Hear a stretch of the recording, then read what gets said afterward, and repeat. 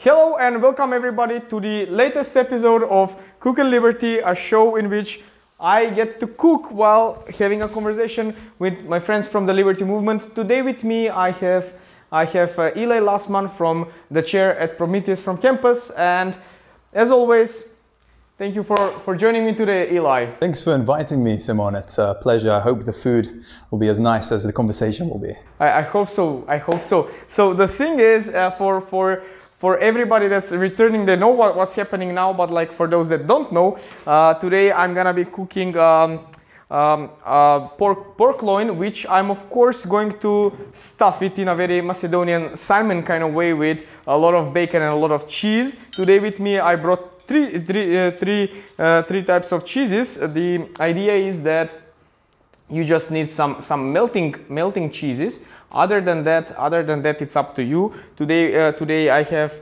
um, um, with me cheddar, I have Idemir and I have a Gouda. Uh, the point is, um, and this is a, a, big shout out to my to my uh, videographer uh, who who said like, oh Simon, why don't you do the Simon all inclusive, which basically means in, in essence, so I have I have three sirloins. So in essence means that instead of doing like three different types, I will uh, uh I will do one with one type of cheese, the second one will be with, with the second type of cheese, but the third one will be with all of them. So that's called the Simon all inclusive. And before I, I, I, get to, to the stuffing part, uh, I would like to start the, the, conversation here with Ely. And of course, um, this is some sort of um, a bit of a mystery to me because Eli is uh, an economist by, by trade, but at the same time, he's, he moved to the philosophy. So, what brought you to the philosophy part of? Right. So, that's a, an interesting question. And let me just start by clarifying that when you say I'm an economist by trade, I have a bachelor's degree in economics and I don't, in fact, work in, in any economic field. But getting to your question about how I became interested in philosophy, let's go, let's go back to my, my childhood, my, my teens, where I, have been thinking about this a lot recently, and I've, I've found that I have been interested in philosophy for a very long time. I simply didn't know it.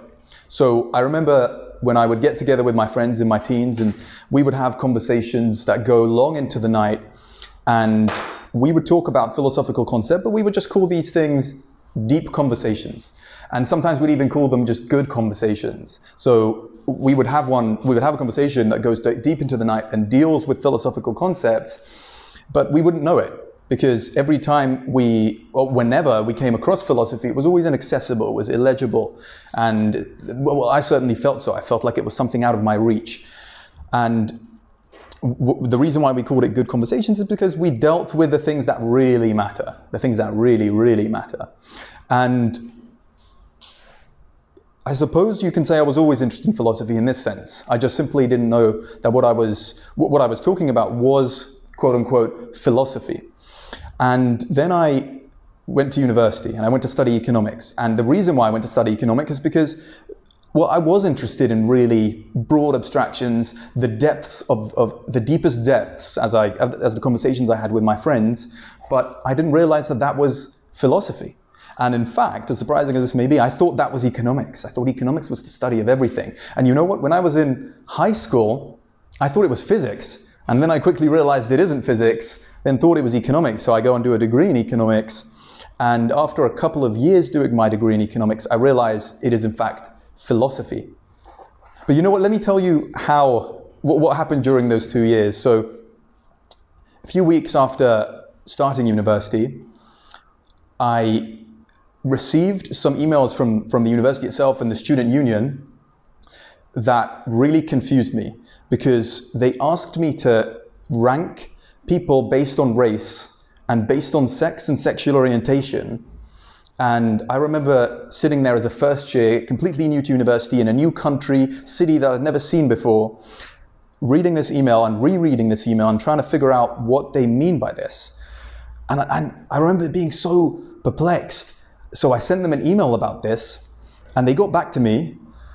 And I, I thought they would correct this mistake, but they got back to me to assure me that the mistake was on my part and that racism is okay if it's against some races and it's bad if it's against others. And sexism is the same, and, and the same goes for any form of discrimination or bias. And I just couldn't wrap my head around this. And I'd never thought about this too deeply. And I really tried to give them not, not the benefit of the doubt, but I tried to understand where they're coming from. And there was not a second where I thought to myself, yeah, this kind of makes sense. It, just, it never did, and it never will. And I was so frustrated. I, I remember sending this email to my friends and my family and asking them, look, is there something here that I'm missing? And there wasn't. So go, so from, from there on, I decided I'm going to I'm going to go against the university. I'm going to make a video about this. I'm going to write to them. I'm going to make this public. And I'm, I'm going to stand up for this, against this. This is not right. And although I didn't know about philosophical concepts, I certainly had a feeling of what is right and what is wrong. And I knew that discrimination, in any case, um, it, when it comes to inherent characteristics, is wrong. So I made this video, I, I emailed them, I made a public statement, and nothing really came of it. And similar things happened in my first few months at university. And what I've realized from that is that either I'm going to be a silent bystander and just let injustice take place, or I have to go against this actively. And that's what I decided to do. So I, I, was thinking, what is the best way to create change? What's the best way to change things? And what I, what I came to the conclusion was, well, as an economics student, because as an economics student, what you get taught is the policymaker is God. So I thought, okay, fine, I'll become a policymaker. Let me go into politics. So I dabbled with politics, uh, specifically local politics, and my, my vision was to, to one day go into to national politics. Thank you very much. Not too much for me. See, of course, I, I me being the, the foodie, of course, I went for making the food instead of pouring the wine, but still. And you also poured your glass first. I, I, I, saw that and I thought that you were not gonna mention. Believe me, I did see that, but I was like, oh. Yeah, shame, shame on you, shame on you. Well, look, before I continue, shall we raise a glass? Of course. As you said earlier, to freedom. Freedom. But yes, do continue. That's good Macedonian wine. I did I did tell him earlier and he was like, I tried everywhere, you know, in Georgia, in Armenia, here and there. And I have heard stories about the Georgian wine. Still have not had the chance to, to drink it. I've heard only stories, but I, I still think from the few things that Macedonians can be proud of, wine is one of those. So this wine is good, but let me just make it clear oh. so my Turkish oh. and Armenian and Georgian friends don't think that I that I uh, insult their wine, that it was fantastic wine. But this is also really good. So he wants to be a politician, in other words. what he's saying is, I want to be a politician, guys. So, so this, this uh, tallies really well with what I was saying. And that I realized, well, actually, it's the opposite of, of where I'm going. Because I've realized very quickly that I don't, in fact, want to be a politician because for, well, for two main reasons. One, I couldn't find a party that I identify with. There were things that I liked about some of the parties and uh, things that I didn't like about other parties, um, and uh, sorry, about the same parties, and these were fundamental differences. And what I what I liked about some of the parties was the the freedom that they were advocating for. So with the left wing, it was mostly social freedoms, yeah. and with the right, it was mostly financial freedoms. At least in, in theory, it ought to be. And I decided to leave politics um, for, for, that reason, and also for the reason that I wanted to. I wanted to make real long-term sustainable change, and I understood that that doesn't come from politics. It, it, there's too many examples. We can see it all over that political change can be turned over like that, and the, the only way to create real long-term sustainable change is to change the culture. That's the only way. And one thing my mum always taught me, and my mum and I disagree on, on pretty much everything, but she's an educator by trade, and she instilled the value of, of education in me. And I realized I want to be an educator and not a politician. So I'm, I'm back at university and I decide to found a student club based on the value that I find in across the political parties, and that's freedom. So I, I found a, a freedom society, and for about a year, I'm sorry. I, I, I, just don't understand this. Uh, found across the political parties, that's only a lip lip.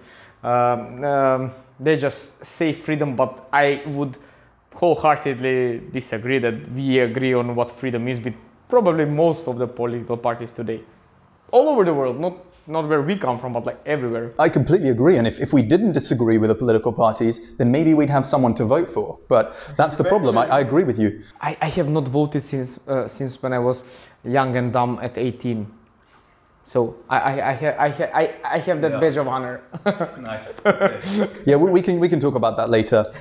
But anyway, so as I was saying, so I found this student society, and it's all about freedom. And in fact, how I found that it is an interesting story, but it's a bit long-winded. So for the to save some time, I'll, I'll save that for another time. So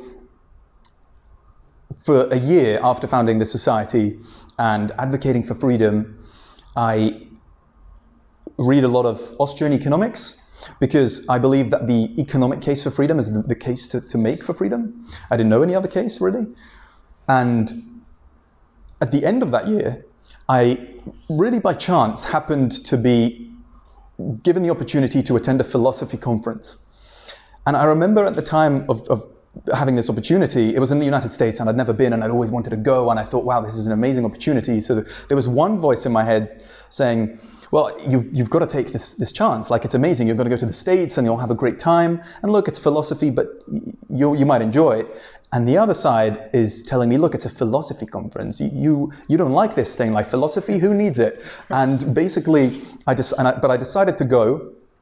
And I remember the first talk was about free will. And I didn't realize, and I know this might sound like absurd, but I did not realize that free will was a philosophical issue.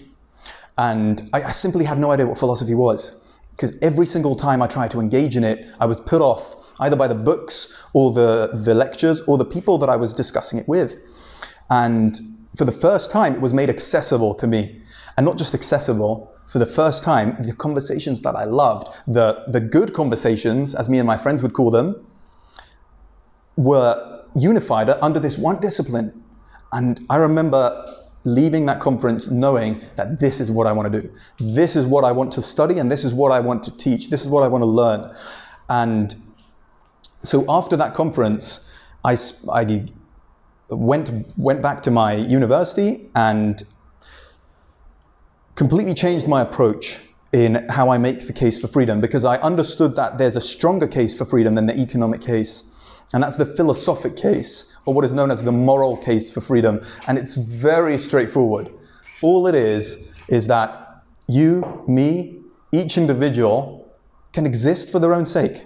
That's it. You can exist for your own sake, and you don't have to exist for the sake of someone else. You don't have to serve others. You don't have to. You don't enslave others, and you don't have to be a slave yourself. And that's so straightforward.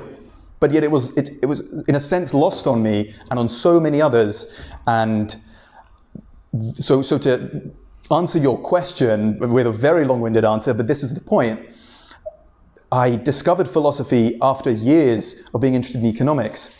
And once I discovered it, I not only fell in love with it, but I understood the importance of it. And when I, when I said, like, philosophy, who needs this thing? Well, I need this thing, and everyone needs this thing. So that's how I came across it. See, but today, uh, people, especially younger generation, they don't care. Yeah, uh, this is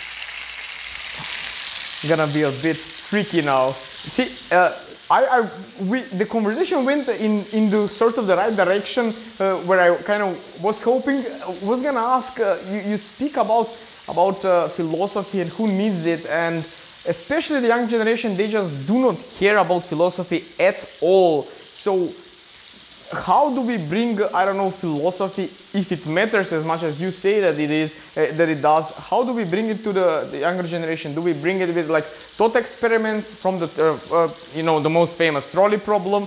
And everybody knows the trolley problem at least in essence. So would you would you say that's the way with thought experiments or or maybe pop culture? I don't know.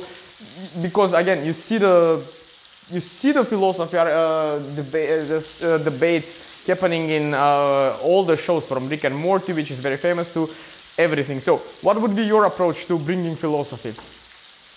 Well, you mentioned Rick and Morty and, and some, some pop culture, and philosophy is in everything.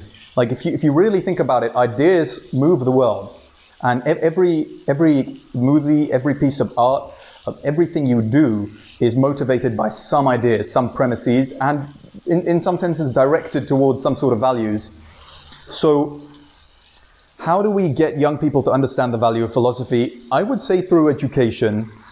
I think that my charity, which we'll probably get to, Yeah. is going to play a large role in that, especially in the United Kingdom. And yeah, art certainly plays a huge role in this. And unfortunately, if you look at modern art, you, you, you see a, a rejection of values, and y- you, you can't really make sense of what you see. And the parallel of that is, well, you can't really make sense of the world. And I definitely think that art is a crucial, uh, I guess, uh, element of introducing young people to philosophy. So is pop culture. I, I, I don't really engage in pop culture. I don't watch TV or hardly watch any movies, but and, and that's mostly because when I do, I just find it too morally corrupt.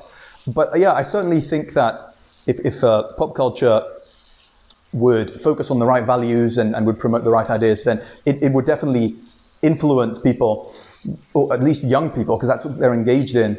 But I think that the right ideas are out there. And what we need to encourage students and, and, and young people generally is to seek, seek them out, like want to understand the world, want to live a good life, and not be told that life is bad and life is suffering and that values are unattainable. And I think life is, is amazing, life is beautiful, and you can have a great time. And it, but uh, fundamentally, it all comes down to education. And our education system today is doing a very poor job in, first of all, not, not only instilling the right values in, in uh, our youth, but also in teaching them to be independent and individualist and think for themselves.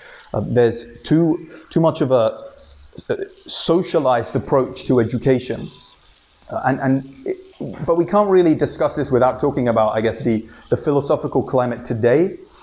Like I said, I study economics, not philosophy, so I, I don't have first-hand experience of academic philosophy, but during those three years at university, I spoke with many philosophy students. One of my good friends is a philosophy student, and I spoke with philosophy professors as well. And philosophy courses, from, from my understanding, and not just my understanding, my experience, are not really geared towards the study of wisdom, the, the, the love of knowledge, but rather they, it's almost in, there's almost an intention and a, a goal of getting philosophy graduates to know less than they did coming in, or at least to doubt more than they did coming in, and to doubt that, to, to, to doubt uh, their, their eyes, to doubt their senses, to doubt their mind.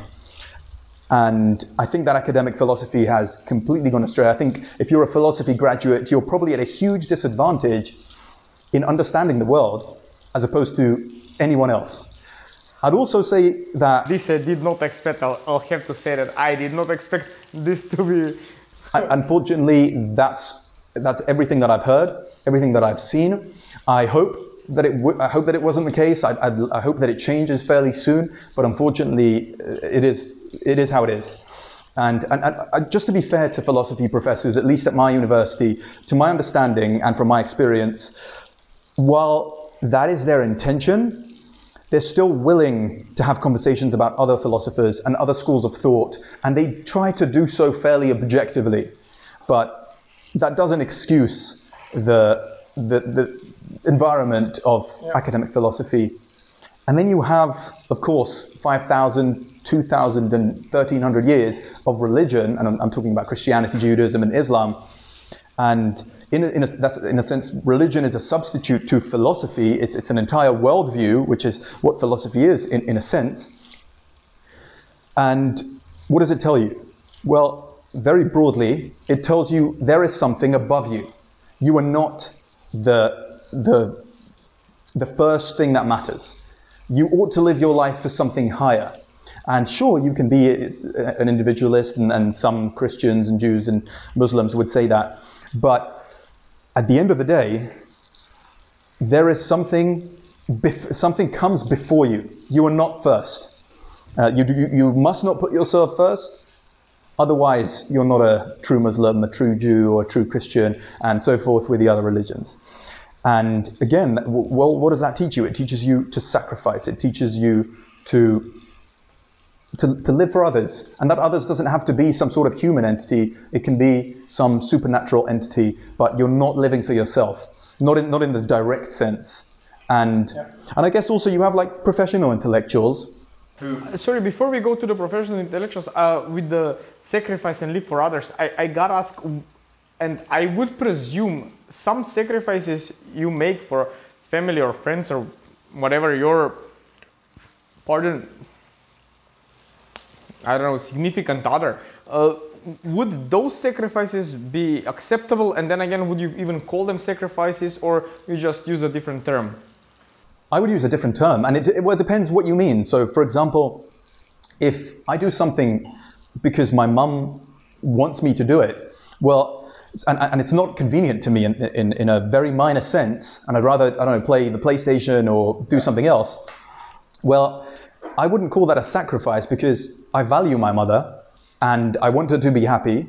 And I, I, would, I would do things for her that in some ways inconvenience me because she's a higher value to me than my PlayStation or the book that I'm reading or whatever it is that I'm doing. I wouldn't call that a sacrifice. What I would call a sacrifice is, is my, if my mother told me, Ely, I want you to leave philosophy and become a doctor. I don't want to be a doctor. Like, doctors are awesome. I, I, I, have some issues with the doctor profession, but like, doctors generally are great. And but it's not for me. It's not what I want to do, and I wouldn't sacrifice my, my passion because my mother wants me to be a doctor. So I just wouldn't call those things sacrifice, if, if that makes sense. See, I, I did ask that in a sense just because a regular person, like uh, someone who does not think about philosophy, not, not, not me trying to say that people are stupid who don't think about this stuff, it's just you know, they have more important things to do and other things to do, right? It's not all about what we are discussing here today. Uh, they sort of equalize those uh, those terms. So that's that's where my sort of question comes from. You know, what what again? Yeah.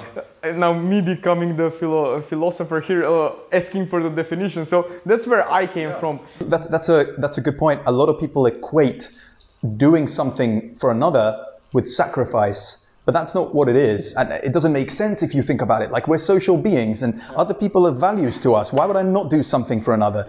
But I wouldn't do something that radically inconveniences me for a stranger because they're not of value to me. It depends. So it's all contextual. Yeah. But doing something for another in, in a in an absolute sense is certainly not a sacrifice. It can be, but it doesn't have to be.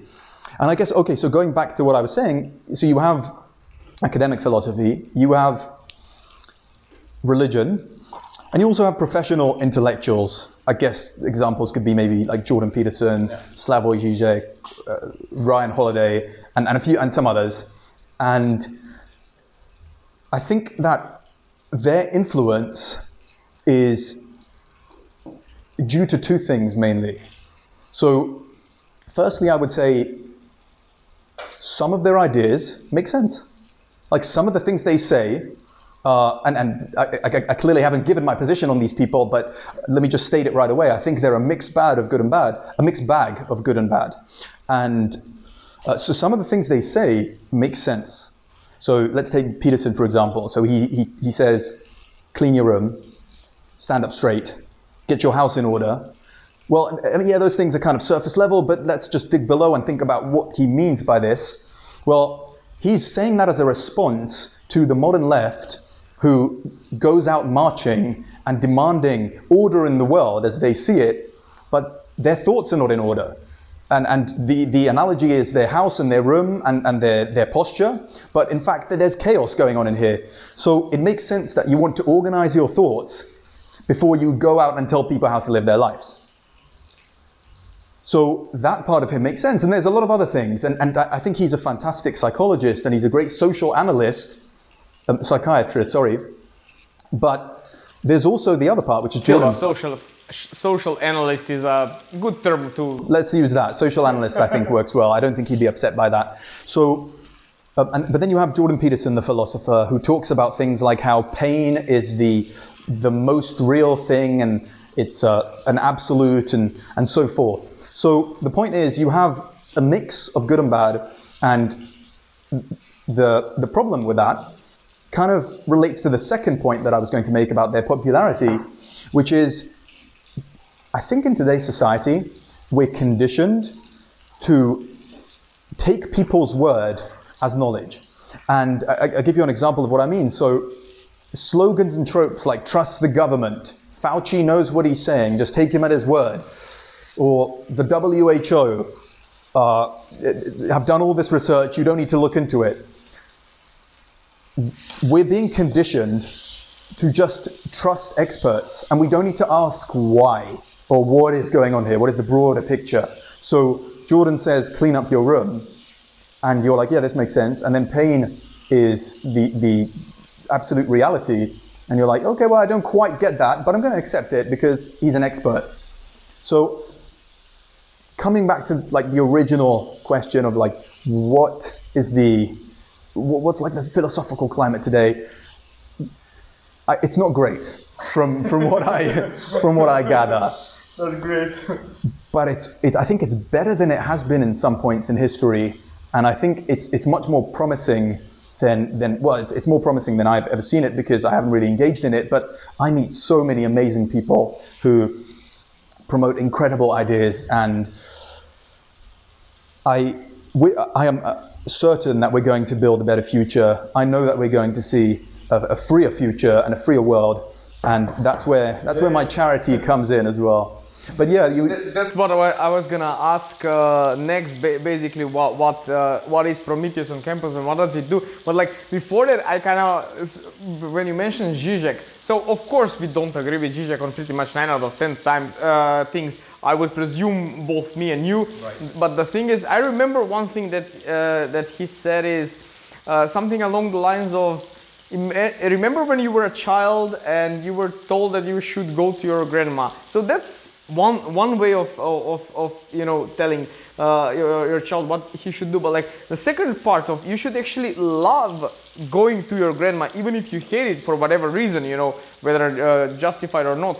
Then we, we come into a big problem you know societal. All of a sudden we should do something that we don't want to, don't think that we should want to, but all of a sudden we are kind of taught and forced to. And yes, imagine the, the, the this comes from your family and uh, continue, uh, make the larger picture. And I don't think that Zizek in that video was trying to make, make the big picture, but like think about on a societal level. Uh, as you mentioned, Fauci and COVID, all of a sudden we were being told that we should uh, you know, care about other people. And it's not that we don't care about people, but the way it was phrased, it was I, similar to yeah. coming back to what you said earlier, you should live for other other values, not other people, but let's say other values, something that you don't agree at all.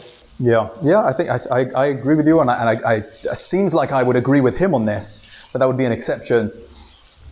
And okay, so you mentioned thought experiments. Well, I think thought experiments. I'm just going to focus on this because I think it's, it's interesting. I think they're a good way to to study philosophy in if you, if you do if you use them correctly. So I think you've got to ask yourself, well, what is the purpose of this particular thought experiment, and does something depend on it? Because in philosophy classes, from what I've heard, there are so many thought experiments that are put forth by professors that have no basis in reality and nothing really depends on the answer. It just makes no difference. So, like the trolley problem, which you mentioned. Yeah the most famous one, if you ask me. Yeah, it, it is. And although I did Google and it was number 10, but uh, if you ask me from all the people that I know, if I ask them about uh, about uh, a thought experiment, they will say trolley problem. That's it. Yeah. so yeah, I, I would think so too. Do you want to explain to the viewers what it is? I will. I will. I will let this to okay, the philosopher. So, so it's, it's very simple. Essentially, you find your, you magically find yourself. You've appeared magically in a, in a trolley, basically like a train, a cart, and you're on track. And you see in the future, there's uh, you see in the distance, sorry, there's five people tied to the track, and you have an option to pull a lever which diverts the train to another track, and there's only one person tied to that track. So, what do you do? That's essentially the trolley problem. Well, that's the first part of it, but the second part is insignificant. So let's just focus on the first part. And the question is, well, what do you do? Well, I, I, the, the fundamental problem with the trolley thought experiment is that it takes away the thing that underlies the purpose of the thought experiment, which is morality. So if you think about it, morality is all about choice. In, in, a, in a future that's uncertain, you're faced with an infinite amount of choices, and there's always an alternative. There's always a choice. There's, there's a, a, a ranking to each choice and, and how beneficial it is for your own life. But when you take away the choices and your two alternatives are death or death, morality just goes out the window. Morality does not pertain. Any choice you make here is neither right nor wrong. So, the, the biggest problem with, with the thought experiment is that it simply takes away the thing on which it stands. Let's just overlook that, right? So, you have another problem. Well, why are there people tied to a track? Like, if, if, if this comes back to does this thing have anything to do with reality. So, okay, you find yourself here, but like, what the real question I would ask, the first question that would come to mind is why are people tied to a track? Who's going around tying people to a track? And what's going on here? And so you've got to take the context into account. You've got to ask yourself, well, who are these people? Are we talking about five strangers on one track and then my child on another? Are we talking about five innocent people on one track and a criminal on another? Like there's too, there's a lot of context to take into account. So many variables that you just throw away and just ask a, uh, you know, the, uh, me coming with the economics like a two variable, you know, yeah. equation. You want to solve it. Like it's it's quote unquote easy on whatever stand you make. Uh, you just pull a lever and that's it. Because in this scenario you don't um, have any consequences, right? But like, but when I th- see, I prepared for for what we are doing today, but at the same time I. Uh, I thought of this right now while we had the conversation, and this uh, connects me to the World War II and with the Enigma machine. And this comes from the movie, of course. Uh, I, I, have not read this story beforehand, but it's, it's like they had cracked the code.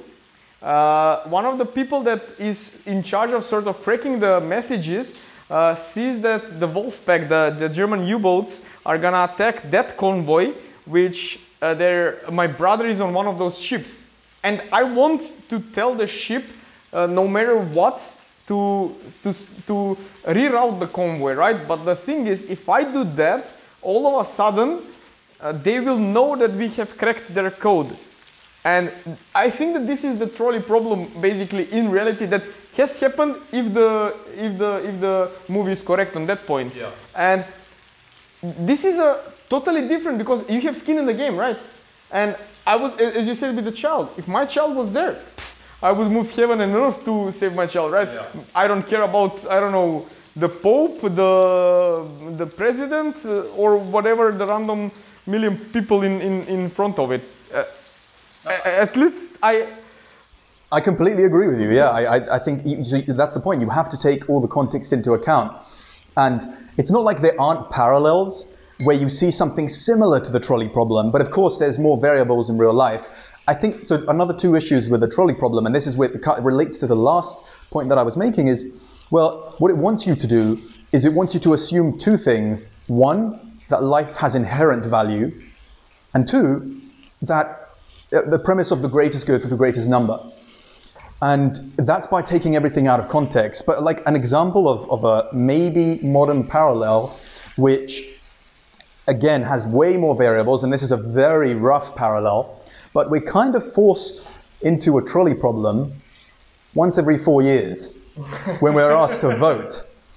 I mean, you're forced with a dilemma where you either vote for a, for a blue train and sacrifice X number of people for the benefit of Y number of people, or you vote for the red train and sacrifice Y number of people for the benefit of X number of people. Either way, you're doomed and or damned. And even if you don't, one of those trains is going to sacrifice uh, some number of people. So, although the trolley problem doesn't ever really exist out of context, it, it can have some use in, in if you if you take the broader context into account. And but going back to the, the, the politics analogy, well, again, there are more alternatives. There's the third alternative, alternative, which is what I would like to offer, let's have no people on the track. Let's not tie people to the track. Like, let's tell these red people and the blue people and whatever color they are in, in every country, stop tying people to the track. and I think the ride will be smoother. See, I agree. Let's just try to solve the trolley problem when we have the trolley problem, when, when you have the Enigma machine and it's a war. Cheers to that. But other than that, let's just not try to solve a problem that we could avoid. But yeah, I don't know. People are weird, so are we. it's a world we're living. I don't know. But like with this, I kind of want to um, ask you about uh, what you're doing with your project with Prometheus on campus, uh, because it is connected to philosophy, right? So, can you tell us more about that? Yeah, of course, it definitely is connected to philosophy. In fact, the purpose of the charity is to promote philosophy, rational philosophy, philosophy for, for living a good life, philosophy for freedom, philosophy for independence on campuses in the United Kingdom. And one of the reasons why I founded it is one, because I saw the value of my student club on my campus and the impact that it had. And secondly, because out of 160 or over 160 higher education institutions in the United Kingdom, there are only around six freedom oriented clubs. So we are going to change that. And I guess it wouldn't be right of me to talk about the purpose of the charity and not mention Prometheus. So Prometheus, it was in Greek mythology, was a titan. And titans can be thought of uh, similar to gods or the Greek gods, they're just like different generations. And Prometheus was the titan who stole the fire from the gods. So fire was, was seen as one of the elements that belonged purely to the gods, to Olympus, to the heavens, and it was not accessible to mankind. And Prometheus, who was a lover of mankind, decided that he's going to steal the fire and bring it down to humanity. And oh, you know, I mentioned he's a lover of mankind. So Prometheus, uh, there's been many, many different uh, cit- citations of, of him in, in literature the past 2,000 years. I'm just going to mention that as I walked in here, I noticed that painting of, of Moby Dick. And of course, in, in Moby Dick, there's a, a mention of Prometheus, just quite a funny coincidence. And you see him in Dostoevsky and, and uh, Mary Shelley and several others. Uh, and in, I mentioned he's a lover of mankind. Well, in Goethe's poem, Prometheus, he actually takes it a step further and he says that not only he's a lover of mankind, he's a hater of the gods. I think this is called Yeah. misotheism. So I think there's, there's a, a line in the poem which goes something along the lines of Prometheus is talking to the gods here and he says, You would even starve if children and fools would not trust in you. Something along, I'm paraphrasing here, but it's something along those lines. So he clearly has some sort of disdain for the gods, in, at least in this poem. So, anyway, that's a bit of a tangent. So, Prometheus, the titan that stole the fire from the gods, gave it back to mankind. Well, he gifts it to mankind, and what happens? Zeus is enraged, and he sentences him to damnation, uh, eternal damnation. He chains him to a mountain and has a, a bird, I think it's a crow, fly every single day and peck on his liver. Now, Titans are immortal, so this is an eternal punishment, and his liver regenerates every single day, so it, it's like eternal suffering. Prometheus also means foresight, and this is a point that I, I find interesting. And a lot of people speculate that Prometheus could see the future, and that's why he was called Foresight. And he knew that by gifting the fire to the gods, to, to mankind, excuse me, he would be punished in such a way and be damned to eternal suffering. But he still decided to do so. Because it was the right thing. Yes, the, the, but I've got to emphasize here because the first time I thought about it, I was like, "What? So you got to sacrifice for mankind? You've got to sacrifice for others? Like that's the noble thing?" And that's not what I take away from this, and I don't think that's the right interpretation of the story. It isn't about sacrifice. It is about doing what is right, standing up for your principles, and I think it, it's also supported by the fact that eventually he was freed by Hercules, and if he really had foresight, then he knew this. And I mean, if he's immortal, then what is like a few years? It goes by like that, like you know, it's like a, a sneeze. So taking okay, so now relating that to what we do. Well, Prometheus Really big tangent. Uh, yeah, that's how I that's how I work. So Prometheus uh, basically stood for his, stood for his principles, brought the fire, the, the wisdom, the knowledge, technology down to mankind and away from the gods, the elites. And our charity has a similar purpose. We are going to bring philosophy from the the inaccessible, the illegible realm that it exists in now and make it accessible to all.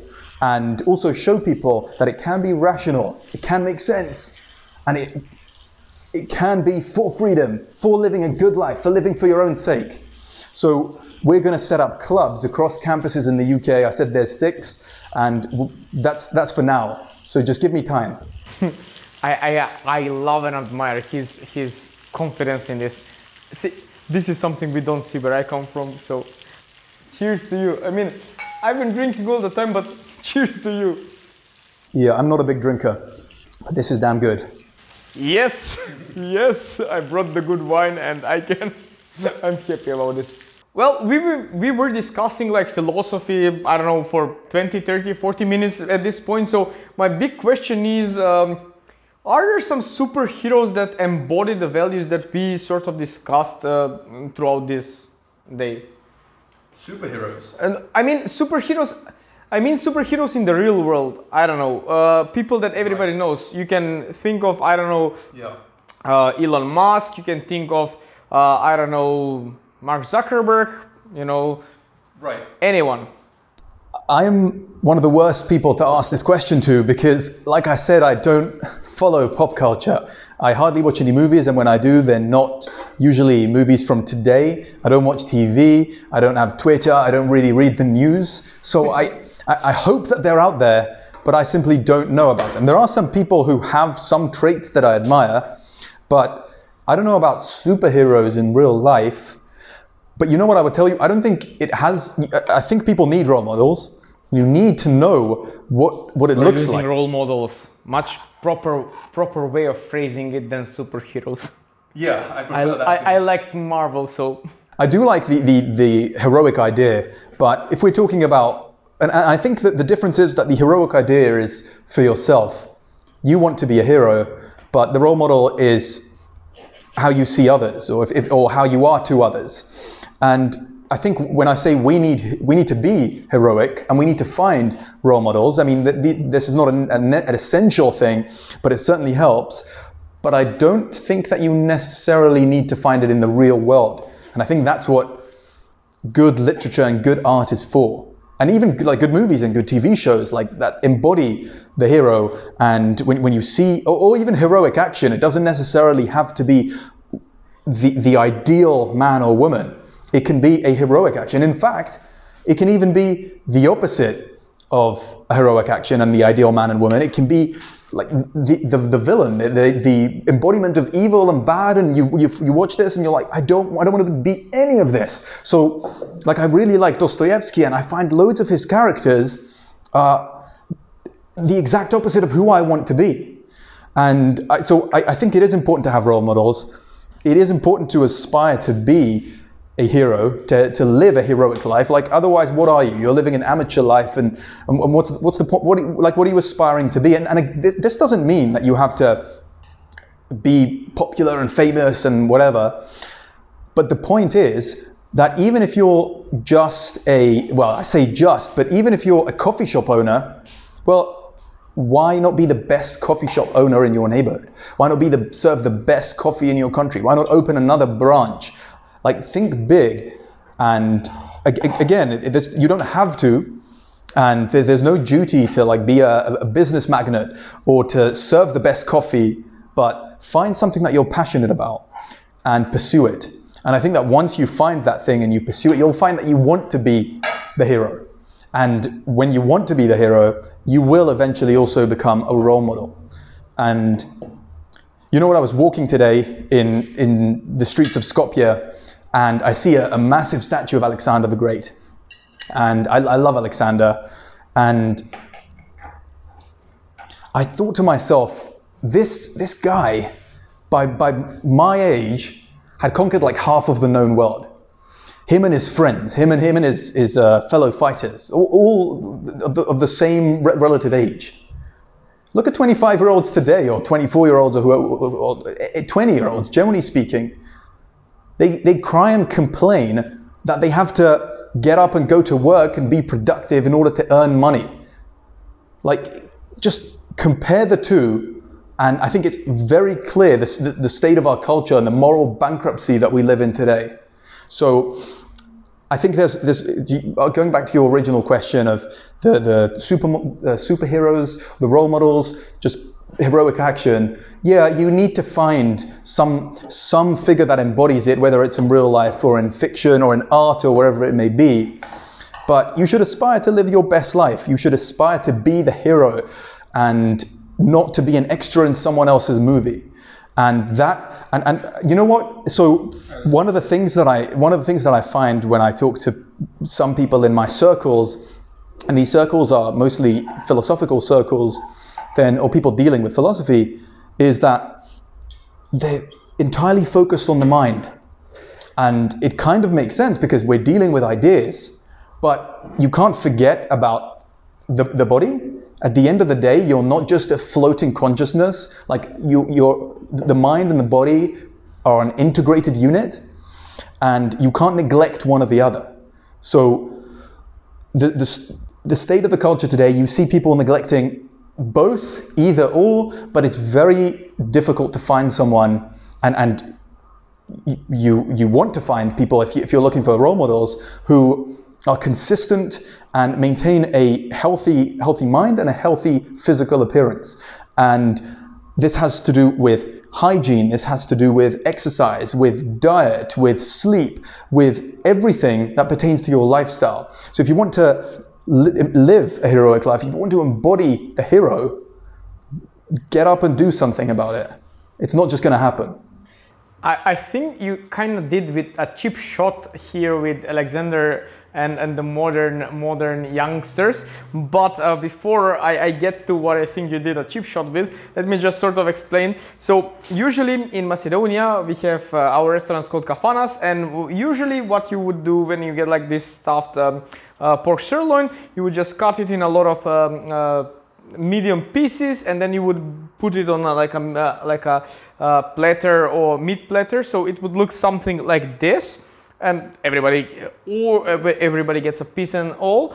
Or you just you just uh, serve it uh, serve it in a very plain thing like this. Again this comes uh, 9 out of 10, 10 times with uh, potatoes but because my, my, guest wants to get pumped in the you know for the for the summer body beach body and of course let's be honest, it's my guest who wants to get pumped. We chose to not insult the Macedonian culture in a sense and, and put some veggies on the side. So we just said there will be no size. Uh, and before I continue, for, for sort of, we're just gonna have ice cream with some, uh, some um, uh, regular um, berries and uh, strawberries and I don't know, blueberries and raspberries uh, on the side after after the the meat of course. So uh, yeah with that I'm gonna do the very basic uh, lazy Balkan thing. I'm just gonna flip it. And of course it's a clean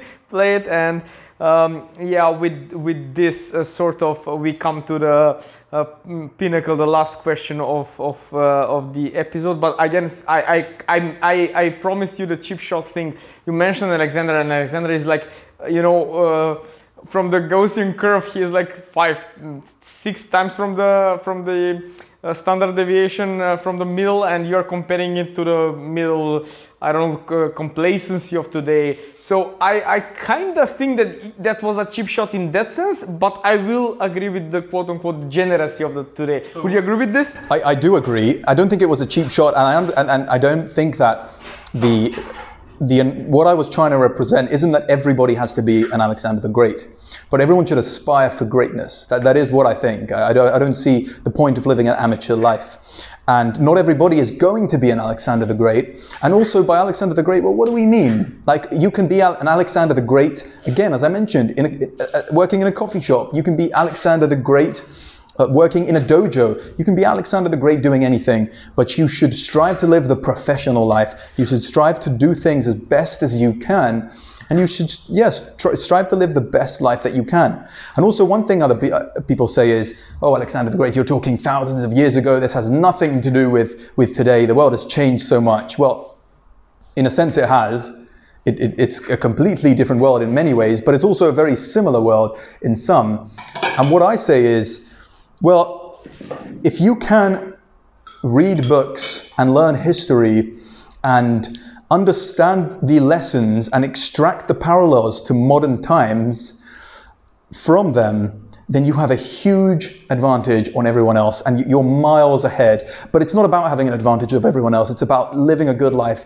And you, you basically have the key to, to living a good life. And there's, there's a great quote that isn't exact, again, but it, it summarizes pretty much what, what I mean, which is every challenge you face today was faced by someone a thousand years ago who wrote a book about it. so just keep reading and you're going to find the answers. So, yeah, it was a cheap shot in a sense, but if you understand exactly what I mean, then I think it makes complete sense.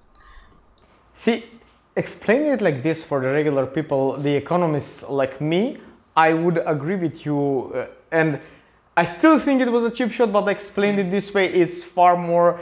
Um, on point and I, I would agree with you in a sense you have to live the best life uh, that you have uh, that, that you can have for yourself first and foremost and everybody else uh, afterwards but uh, yeah and uh, with this we sort of came to the last uh, part of the episode the most important for me personally and this is like how do we find freedom in an unfree world and i love this question so i really want to hear your thoughts and believe me i only told him that we are gonna uh, I, am gonna ask this, but I did not want the answer beforehand, so I, I want to be impressed by the philosopher here.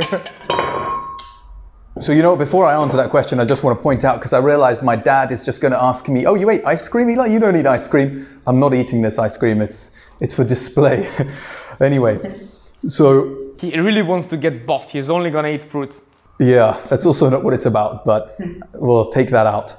Uh, no. So, how do you find freedom in an unfree world? That was your question. How do you yes. find freedom in an unfree yes. world? I don't think you do. I don't think you can find freedom in an unfree world. Like, if you think about it, well, if freedom is a political concept, so freedom is, is a political system, a system of governance, which I think is what we're talking about, and the world is unfree, then how could you find it? Like, I'm looking around, but the world is unfree, so I don't find this thing. So I don't think you do find freedom in an unfree world. I think you create it. And I think that that's what we ought to to strive for. That's what we ought to teach. That's what my charity is about. That's what I'd like to do with my life. I'd like to create freedom. And I think that the way to go about it is, is, is education. As, as the entire episode have been hammering back and forth, I think that you create freedom and that's what we're going to do with my charity. And I think the way to do so, there's nothing more dangerous in a sense than a well structured argument. And I used to think that was the economic case for freedom. And I now realize that there's nothing more powerful than the moral, the philosophical case for freedom. And I truly believe, I know that every individual can exist for their own sake. They have the right to do so. You don't have to serve others, you don't have to sacrifice yourself, and you don't have to sacrifice others. In fact, it's some might say it's beautiful just to be independent. See, we started with a cheer to freedom. I would love to end with a cheer to freedom. Let's cheer to independence. Okay, we change this. Uh, cheer to independence and yes uh, again thank you for joining me this was the the, the last part of the episode so um, I, I, really did as you can see with the smile on my face i really did enjoy our conversation um, i hope that the food you will like and you are not allowed to say otherwise. but yes, with this, we end our latest episode of uh, Cook and Liberty. Thanks for joining, and as always, stay free.